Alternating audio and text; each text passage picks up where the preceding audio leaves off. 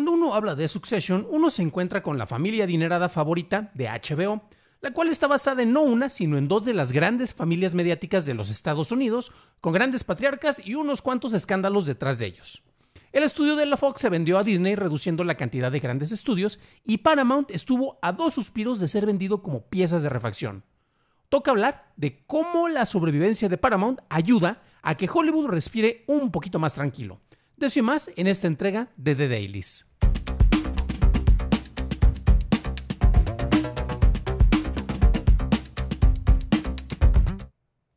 Tal? Bienvenidos a esta entrega de The Dailies, el programa favorito de análisis en el cual no únicamente nosotros nos ponemos a comentar el tema de moda, sino que nos ponemos a hacer un poquito de investigación para tratar de que estemos mejor informados sobre algunos temas de interés. Y es que finalmente pasó, después de varios meses de suspenso, ofertas hechas, ofertas aceptadas, luego ofertas rechazadas, esas mismas, luego renegociaciones, pues Sherry Redstone, que es la heredera de Paramount e hija de uno de los más grandes mogules del séptimo arte, que era Summer Murray Redstone, pues finalmente accedió a la mejor oferta posible, hecha por David Ellison. Y como pues ya estamos hablando del pedigree, pues vamos a hablar de Ellison porque este cuate viene de muy buena cuna, ya que es hijo de Larry, que es el cofundador de Oracle, una de las empresas tecnológicas más conocidas y también es una de las personas pues más ricas del mundo, ¿no? Creo que llegó a estar en el top 3 si no me falla la memoria, entonces pues Barto Avaro sí tiene, ¿no? Y es que, ¿por qué es importante la compra de Paramount? En Estados Unidos eh, actualmente hay cinco grandes estudios los cuales producen pues las películas de mayor alcance en el mundo occidental. Sí, sí, sí, yo sé que muchos les, les encanta y aman y maman eh, A24, por ejemplo, pero pues la realidad es que en reflejo de taquilla y en el efecto de industria, pues eh, es más mesurado en comparación con estos cinco estudios, que son Universal Pictures, Warner Bros. Entertainment, Walt Disney Studios y Sony Pictures. Y por ejemplo, antes había más, pero poco a poco se han estado consolidando. Sony Pictures, por ejemplo, es propietaria de Columbia Pictures y de TriStar Pictures. Walt Disney Studios es dueña de Walt Disney Pictures y 20th Century Studios. Warner Bros. Entertainment contiene a Warner Bros. Pictures y a New Line Cinema. Y bueno, después de que ya hicimos este paso de la lista, ¿quiénes tienen a las audiencias de su lado? Y es que entre la disminución de audiencias en las salas de cine y el auge del streaming, los nuevos grandes titanes son Netflix, quien debería ser considerado uno de los grandes estudios en realidad, y también está Amazon MGM Studios, en donde Jeff Bezos se quiso comprar su propio estudio compuesto por la Metro Goldwyn Mayer, con todo y el León Rugiente y Orion Pictures, que son parte de este estudio. Y que honestamente tuvo su mejor momento en los 80s, por ahí todavía a principios de los 90s, ¿no? Y es que con todo esto, a pesar de que se compró su estudio, Amazon MGM no es uno de los grandes y comparte categorías con la segunda bancada, con Lionsgate, STX Entertainment. Seguramente han visto ese logo antes de que se presentan unas películas donde está un cuate con un arco y luego avienta una flecha que atraviesa como que varias, varias este, partes que ellos en realidad no producen películas, sino que más bien las compran y las redistribuyen. Y otro que curiosamente hace lo mismo, pues es A24, solo que lo hace con... Ellos lo hacen con gracia, no dirían sus fanáticos.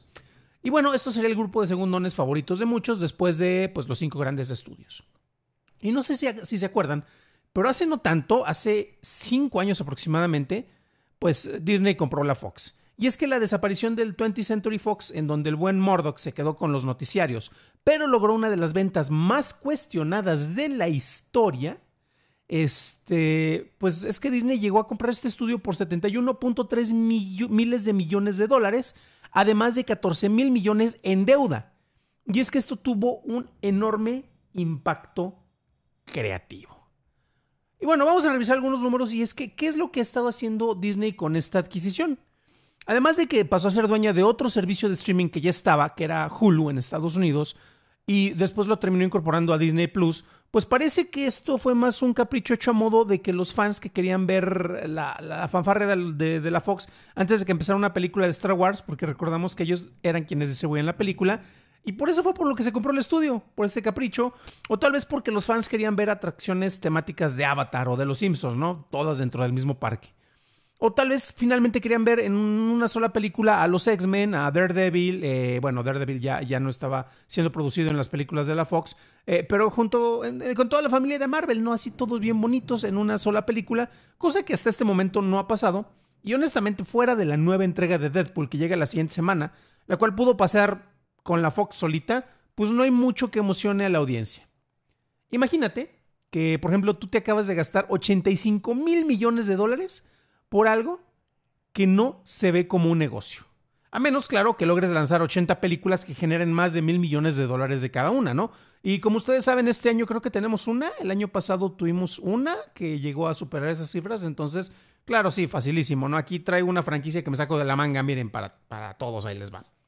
Y es que para tener un mejor entendimiento de esto, por ejemplo, hay un reporte reciente en el cual eh, los accionistas estaban eh, cuestionando las medidas que se estuvieron tomando por la Casa del Ratón, ¿no? Porque pues, los números no están como que muy bien y las películas no, están recordando tanto, a excepción desde luego del estreno más, estreno más reciente de la película de Pixar, de Intensamente 2 o del Revés 2, como se le conoce en España. Saludos a los amigos que nos ven por allá.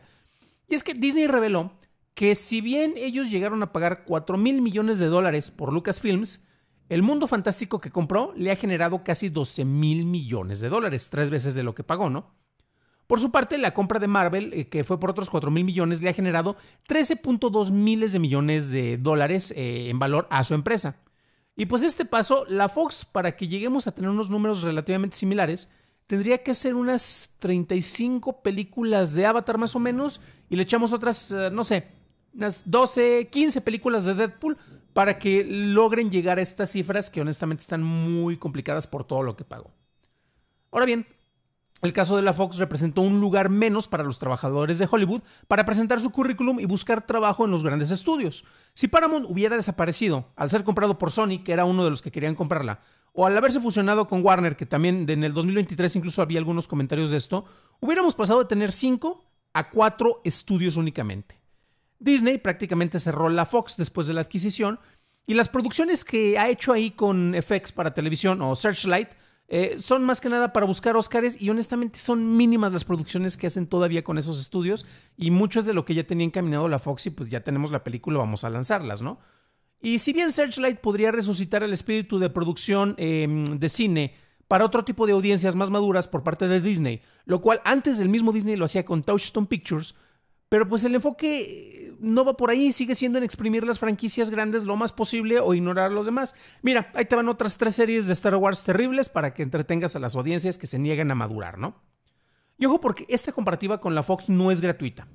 Paramount fue adquirida por un acuerdo valuado en 28 mil millones de dólares, casi una tercera parte de lo que se pagó por la Fox. Y seguramente esto eh, pues se podría explicar por el tipo de franquicias que tiene la Fox. Y vamos a ver ahorita una bonita lista. Y entre ellas vamos a encontrar, por ejemplo, Alien, Avatar, eh, Kingsman o El Planeta de los Simios. Miren, ahí tenemos también la, Era del Hielo, la de Río. Río no es franquicia todavía.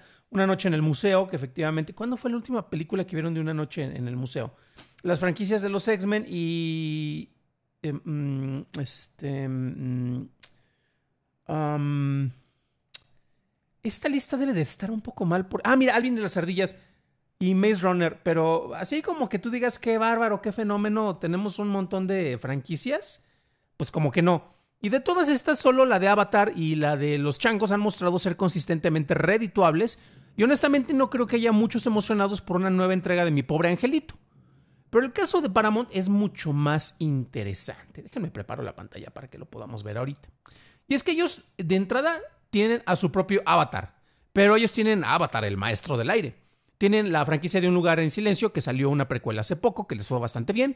Las Tortugas Ninja, El Padrino, Transformers, Top Gun, Misión Imposible y un catálogo televisivo importantísimo que va desde NCIS, MTV, Comedy Central, Nickelodeon, hasta la que fue la serie más vista de todos los tiempos. Y usualmente cuando estaba revisando esto, no, no es Homelander.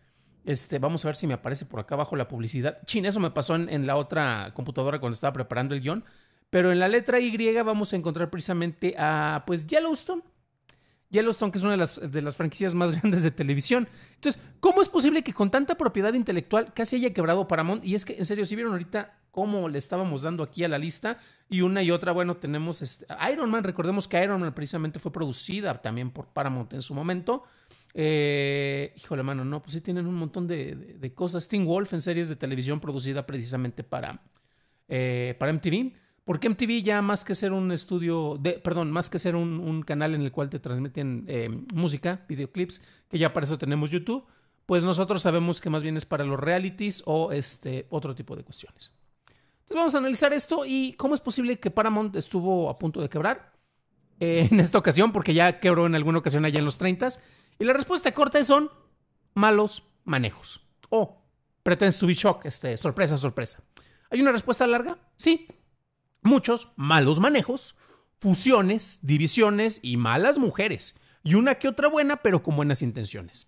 Y es que bajo el reinado del gran patriarca Redstone, quien fue el jefazo de la reinvención de Viacom, fue el jefe de CBS, fue el accionista mayoritario de la cadena de cines National Amusement, Amusements, piensen que es como un Cinemex de allá de Estados Unidos. Y es que con todo esto, en su punto máximo se lograron hacer muchas cosas. Por ejemplo, él llegó a comprar el estudio de Paramount en 1994 y muchos estaban diciendo como que pagó de más. Creo que fue por alrededor de un costo reportado de 10 mil millones de dólares, pero había quienes se lo querían quitar, eh, querían comprar el estudio, pero muchos especulan, bueno, no muchos, hay algunas especulaciones de que esto fue para inflar el precio y que en realidad Paramount no costaba eso, ¿no? Después de haberlo hecho, bueno, pues gracias a él se hicieron películas muy populares. Algunas les deben de sonar como Rescatando al Soldado Ryan, Titanic, que es una de las películas más taquilleras en la historia del cine, Braveheart, Corazón Valiente, Forrest Gump también. Diez años después, hubo que hacer cambio de liderazgo y Reston puso a Brad Gray a cargo, quien él empezó a encaminar por otro lado y llegaron las franquicias de Transformers, Star Trek revitalizado por las películas de J.J. Abrams, actividad paranormal, poca inversión, muchas ganancias, y además se forjaron relaciones importantes con directores que, qué bueno que gracias a, este estudio se hicieron películas, como Martin Scorsese y también los hermanos Cohen. De hecho, una de las películas de los hermanos Cohen, eh, True Grit, eh, Temple de Acero, creo que lo pusieron en español, llegó a ser de las de bajo presupuesto de grandes directores que recaudaron mucho dinero considerando el perfil de la película. Pasa el tiempo, ¿no? Y después llegaron de esta segunda etapa de grandes éxitos bajo eh, Redstone, que ojo porque esta familia, ellos no empezaron a hacer los estudios de Paramount, eh, ah, ya dije, ellos lo, compró en el, en el 94, porque tiene otra historia y vamos a ver algunos detalles más adelante, ¿no? Pasa el tiempo y llegaron otras compras como la de CBS y los derechos de distribución de DreamWorks Animation, aunque ojo porque el estudio de animación no estaba incluido. Y esta es una de las grandes trácalas este, donde ahí uno no sabe si aplaudir o mentarle la madre, en este caso a los, a los abogados de Paramount, Paramount, o aplaudirle a los abogados de SKJ eh, DreamWorks Animations, porque Paramount compra DreamWorks. Pero resulta que DreamWorks Animation es una entidad separada del estudio de DreamWorks. Entonces, compré básicamente, ¿qué, tiene el paquete? Abres, la cajita feliz y resulta que no viene una hamburguesa, sino que solo un juguetito o o al revés, dependiendo de tu preferencia. Y resulta que compraron los derechos para la distribución de las películas animadas de DreamWorks, otros cuantos assets que estaban para allá, pero no compraron el estudio de animación. Entonces aquí ya empezamos a ver cómo no eran los más brillantes con algunas de estas negociaciones. Conforme empieza a avanzar la edad de Don Piedra Roja, el buen Redstone, pues todo indicaba que su hija Shari iba a ser quien iba a tomar las riendas de este gran conglomerado, ¿no? Entonces, imagínense, eh, si pudiera aquí pondría la música de Succession de, de fondo, pero me bajan el video. Eh, se los puedo tararear, pero mejor no. Este, y después de todo, ella estaba establecida porque era la presidenta de la cadena de cines, era la vicepresidenta de la mesa directiva de Viacom y también de CBS. El problema empieza en el 2006. Se fijan que el anterior cambio fue en, el, en, 1996, pero bueno, en el 2006, perdón. Este, pues resulta que el buen señor este, Redstone, pues como que estaba reconsiderando ese aspecto de la sucesión. Entra tu tema musical de Succession. Y es que resulta que después de su primer divorcio, Sumner Redstone le dejaba fondos irrevocables de las acciones a sus cinco nietos. Se iba a brincar una generación y hasta los nietos les iba a tocar. Y mientras que esto daba pauta a una buena telenovela mexicana, o si hubiera habido mejor presupuesto, pues a una serie de HBO en donde los ricos también lloran, pero en los imperios, en los imperios mediáticos, pues hubo otros movimientos que empezaron a, dar, eh, a darse en el gran conglomerado. Hubieron renuncias, peleas de sucesiones en MTV, reajustes en Viacom y la aparición de un tal Tom Freston, el cual lo podemos ver por acá.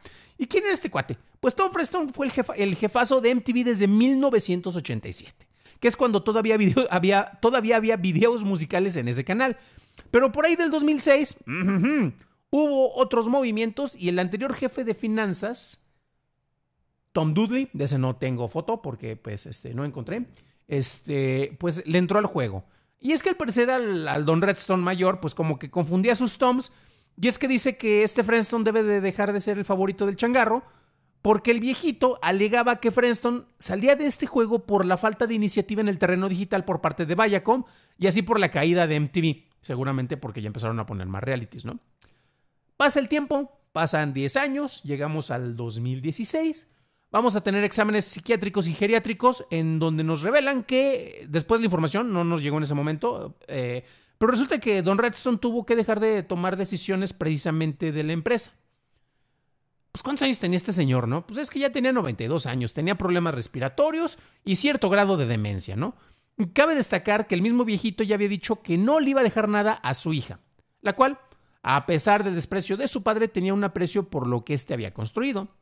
Y tras varias batallas legales, logró quitarle el control que había ganado hasta las parejas de su padre, quienes decidían lo que el mogul debía de hacer. Y es que tanto poder se había diluido con ejecutivos sobrevalorados que les pagaban las millonadas y no valían la pena, por malas decisiones que se estuvieron tomando, que hubo una muy curiosa porque se le llegó incluso a prohibir el acceso a Tom Cruise al lote de Paramount. ¿Por qué? Porque cienciología, híjole mano, o sea, pero es una de tus grandes estrellas. Caramba. Finalmente, en el 2020, a los 97 años, fallece el jefazo y Sherry finalmente llega a tomar las riendas del estudio, nombra a sus propios y leales trabajadores, pero para ese momento la competencia ya no eran Warner o Universal, los otros estudios, sino, si recordamos, además de una pandemia que tuvimos, pues estaban ya establecidos Netflix, Apple, Disney, Comcast y Amazon, y estos eran los nuevos enemigos. El negocio había cambiado y las reglas buscaban nuevos paradigmas. Entonces, para competir contra ellos es que surge Paramount Plus, que solo en 2023 le generó pérdidas de hasta 1.600 millones de dólares a la empresa. Esto cuando todavía el tener un servicio de streaming era la moda, ya que pues muchos querían controlar este sector. Y es que curioso porque cuando salió este servicio, este no mostraba su serie más exitosa, Yellowstone, de la cual, por cierto, tenemos uno de los. El mejor podcast sobre esa serie lo tenemos aquí en Churros y Palomitas, ahí lo pueden encontrar en el catálogo. Y es que los derechos de esta serie se habían vendido a un canal de la competencia para que lo pudieran tener en streaming y solo podías ver lo que pudo ser uno de esos mejores ganchos eh, para que contrataras este servicio, pero en el servicio de Peacock, no en el de Paramount Plus. Y ojo, porque previo a los últimos intentos de venta, Paramount llegó a estar valorada en solo 9 mil millones de dólares en su totalidad. Cosa curiosa porque si se vendía por partes, por ejemplo, el negocio televisivo con CBS era más valioso que el estudio en total. Entonces voy a eh, especular algunos números nada más. Este, las notas eh, específicas las encuentran en, la descripción del episodio. Este, los Patreons desde luego tienen todas las notas completas y el guion. Y es que imagínate que de 9 mil millones de dólares que te cuesta todo el changarro, CBS te cuesta como 4. Ok, perfecto. Y este estudio eh, me, me, cuesta como 3. Ok. Y las cadenas de cine me cuestan como 2. Y este, el, canal musical de MTV me cuesta como 1.5. Oye, pero es que todos en conjunto me, me, terminan costando, este, me deberían de generar como 12 mil millones de dólares. Uy, sí, pero estás perdiendo dinero por Paramount. Entonces, este, la neta, mejor, este, si quieres que te compre Paramount y el resto de los changarros, Paramount Plus y el resto de los changarros, CBS ya no te la puedo pagar a 4, sino pues, como a 2.50, ¿no? Porque me estás bajando la inversión. Y ojo porque en su mejor momento Shari llegó a ser la primera mujer en controlar un imperio mediático con un valor de 30 mil millones de dólares. Ese fue el punto máximo cuando ella estuvo en control. Y es que después Shari llegó a despedir a Bob Baskins por supuestos malos manejos. Yo ahí los cuestiono un poco. Y es que esto fue triste porque ella llegó a alejar a uno de sus lacayos más fieles. Y tras muchas conjeturas, decide que Paramount no puede sobrevivir con las actuales condiciones. ¿Y sabes qué? Shari dice que debemos de vender el changarro. Y después de haber batallado tantos años para haber recuperado el negocio familiar y lograr consolidar todas sus partes, Shari pues se rehusaba a venderlo como partes de refacción, ¿no? Y es que, ¿ustedes creen que podría encontrar a un comprador con suficiente capital para llevarse la vaca completa en vez de unos cuantos filetitos? Hubo varias ofertas. Eh, algunas eh, solo querían las partes más lucrativas, como la cadena televisiva, como les mencionaba, pero doña Redstone no quería dividir el imperio, incluso en su peor momento, y eso que ya las deudas la tenían, híjole mano, hasta el cuello. Afortunadamente es que entonces llegó un ángel de la guarda. Y este ángel de la guarda se llamaba David Ellison. Y ojo porque David Ellison no es solo conocido por ser el hijo de uno de los jefazos de Oracle, sino por ser el CEO de Skydance Media. Ha trabajado en colaboración con Paramount y es alguien que genuinamente ama al cine. Y no en la manera en que Red Hastings, que es el cofundador de Netflix, ama al cine, ya que el ex CEO de la gran N Roja vivía la experiencia gracias a los VHS vistos en la televisión de su casa. No, no, no, no, no. David Ellison es alguien que ama el cine y muchos de los aspectos de la industria del entretenimiento, incluyendo las salas. Y recordemos que la empresa que tiene como propiedad la mayor cantidad de, acciones de, de Paramount, pues precisamente tiene las salas de cine. Y es que también gracias a Ellison y a su compañía Skydance Entertainment es que se logró filmar Top Gun Maverick. Y gracias a eso llegó a romper récords de taquilla y gracias a eso llegó a salvar el cine en su peor momento. No sé si se acuerdan que decían que el cine ya nadie quería ir, tuvimos pandemia varios años y Tom, eh, Top Gun precisamente fue eh, una de las cintas que lograron atraer grandes audiencias por primera vez después de unos cuantos años de encierro. Y resulta que después de tener varias discusiones, varias ofertas rechazadas, finalmente se accedió a que Skydance adquiriera Paramount. Y dentro de los acuerdos, la compañía va a pagar 2.400 millones de dólares por la adquisición de National Amusement, eh, quienes son los propietarios de la cadena de cines de medio pelo en, Estados Unidos. Y es gracias a esta compra que finalmente Skydance va a tener control completo sobre el estudio. Y es que dentro del pago también se incluyen 1.750 millones de deuda con lo cual los problemas de solvencia de Shari van a quedar completamente resueltos y ella creo que se lleva, no me acuerdo si 400 o 500 millones solitos para su bolsillo, que se los lleva como ganancia. Pero ¿de qué le va a servir comprar una cadena de cines que a una compañía que va a estar controlando un estudio? Pues bueno, al menos lo que sí sabemos que es que Ellison ama el cine y él se comprometió a invertir más en el negocio. Con esta compra, Paramount le vende 4.750 millones en acciones a, Skydance, por lo que las licencias que controlaba para producción Skydance, como la mencionada Top Gun, finalmente van a quedar en el mismo techo de manera similar a como los X-Men eh, cuando estos regresaron a Marvel después de la adquisición. Sí, porque el control de algunas franquicias estaban por parte de terceros y ya finalmente Transformers y Top Gun van a vivir bajo la misma casa, van a poder estar ahí las tortugas ninjas si así quieren y hasta si quieren el mismísimo Kevin Costner tal vez podría aparecer por allá. Pero al comprar el negocio, el cual venía con una deuda considerable, Skydance debe de mantener tranquilos a los, accionistas. Y aunque prácticamente todas las acciones son propiedad del cielo bailarín, Skydance, ya que con la compra tiene el 100% de las acciones clase A, que son las, que, las importantes porque con esas se puede controlar y votar en las decisiones en la mesa directiva, que ese es un control que Shari no tenía, ojo, porque ella poseía el 77% de las acciones de este tipo. Entonces, eh, Ellison le compró sus acciones a ella, más a otros accionistas que tenían este mismo tipo. Además, pagó 1.500 millones de dólares por las acciones clase B, dinero que se va a ir a pagar las deudas. Y para estas, Skydance está buscando reducir la deuda para finales del 2025. Eh, creo que primero en un patrón de 2.25 para el 2024 y eh, así ir reduciéndola poco a poco. ¿Qué es lo que gana Ellison con esto? Pues mucho más de lo que ganó Amazon al adquirir la Metro Goldwyn Mayer. Amazon Studios, por ejemplo, no es considerado un estudio de verdad. Bueno, no era considerado un estudio de verdad. Y el León de la Metro le daban cierta legitimidad con sus licencias. Digo, ahí está Rocky, ahí está Robocop, por ejemplo. Y en el caso de Skydance, aunque jugaban bien sus cartas, no tenían el legado de Paramount. Y este chistecito de comprarse a Paramount le costó 4.750 millones de dólares. Tras comprarse su estudio en forma, ¿qué se puede esperar del nuevo Paramount? Pues bueno, David Ellison es el nuevo CEO y es el jefe de la mesa directiva.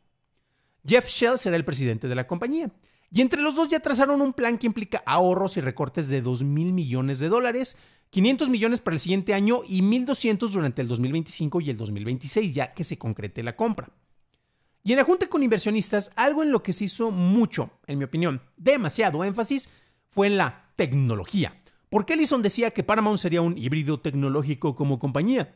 ¿Cómo carajos lo va a lograr? Pues fácil, lo va a lograr gracias a la nube, con lo cual se van a ahorrar gastos, así como con el uso de inteligencia artificial para poder mejorar la creatividad y eficientizar la producción. Y desde luego mejorar los algoritmos de recomendación de Paramount Plus y su interfase. Si me compraste este discurso, déjame decirte que tienes todo para triunfar como un ejecutivo descerebrado de Silicon Valley. Y mira que no te estoy agregando unos NFTs de regalo para que veas que, no, hombre, tú sí le sabes al negocio, ¿no? Híjole, mano.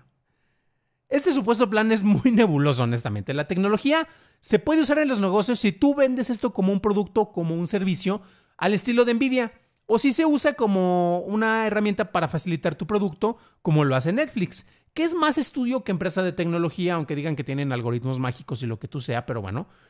Y aunque por años han evaluado a Netflix como esto, pues nuevamente no es una empresa de tecnología.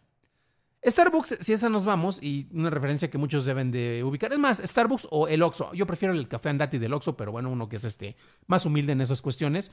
Ellos han implementado un chorro de tecnología en sus operaciones, pero no las catalogarías como empresas de tecnología por eso.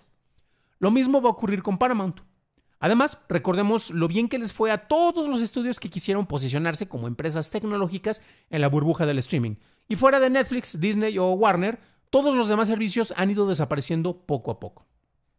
Sobre todo esto que estamos viendo, vamos a poder agregarle un detalle que es que la mayoría de los ingresos que tiene Paramount vienen de sus canales de televisión, lo cual representa un 55% del dinero que entra a la compañía.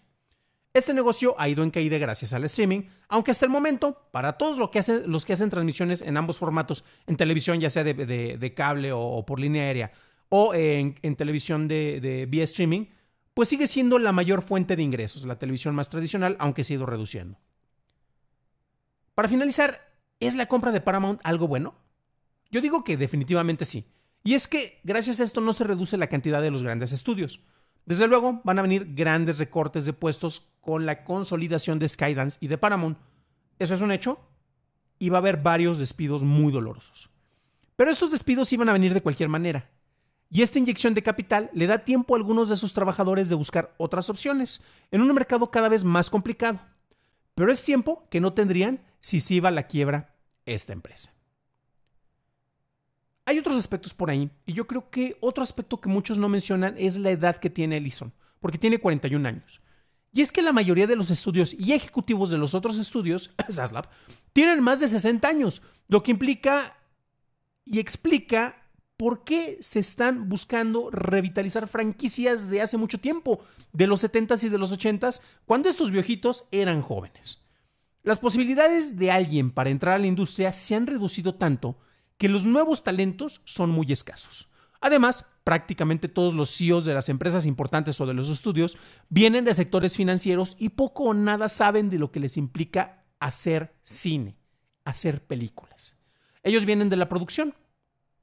No, Ellis sí es quien viene de la producción. Y según algunas fuentes cercanas, busca ser una especie de anti-Saslap, ya que él no quiere tener grandes presencias en las fiestas, en Cannes y en todos estos lugares, y mejor prefiere concentrarse en hacer un trabajo tras bambalinas y en hacer películas. Con la salida de los Redstone de Paramount, termina el reinado de una familia que fue muy disparejo. Sherry tenía muy buenas intenciones y genuino amor por el negocio familiar. Ellison también tiene ambos, pero él tiene el capital para que el negocio continúe. Definitivamente los mejores años de Paramount fueron en la época dorada del cine. Afortunadamente ha sobrevivido a problemas como la bancarrota que tuvieron en 1933, la pérdida de identidad en sus películas porque eran genéricas en los 40, hubo por ahí algunos casos también sobre monopolio que ya hemos explorado en otras entregas de The Dailies, eh, precisamente Estados Unidos contra Paramount, y después pues resurgió con los 10 mandamientos en los años 50, tal vez hayan escuchado de esa película. El libro no es muy bueno, pero bueno. Y hubo malos manejos en los 60s tuvo un renacimiento en los 70 que nos trajo, gracias a esto, la Legión de los Barbones, entre ellos, gracias a eso tenemos a la serie del Padrino, una de las grandes sagas del cine. Los ciclos se repiten y esperemos que este marque una nueva etapa propositiva para uno de los pocos grandes estudios que han existido desde el surgimiento del séptimo arte. Con eso terminamos esta entrega de Dailies. Honestamente, eh, si disfrutaron este programa, ya saben qué hacer. Suscríbanse, dejen like, compartan este episodio. La investigación para este episodio, créanme que me llevó bastante tiempo. Tenía un borrador del guion desde la semana pasada y estuve agregando. Y como mencionaba hoy en Twitter, ah, claro, este, ya vamos a terminar y solo revisamos unas notas. No, hombre, vamos a agregarle por lo menos menciones de los, eh, algunos de los desmanes del, Tata Redstone y esas cuestiones. Y desde luego, eh, gracias a todos los que nos apoyan con sus suscripciones en Twitch y desde luego a todos los que nos apoyan en Patreon. Si encuentras de valor con este programa, me echas muchísimo la mano con las aportaciones en nuestro Patreon y también tenemos otros, eh, otros métodos de donación y vas a ver a todos los nombres de todos los que nos apoyan a continuación. Gracias a ellos es que tienes este programa.